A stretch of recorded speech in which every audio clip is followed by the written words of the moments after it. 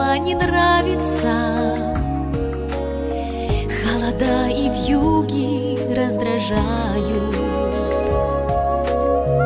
Почему тогда ее красавицей Ласково в народе называют? Потому что зима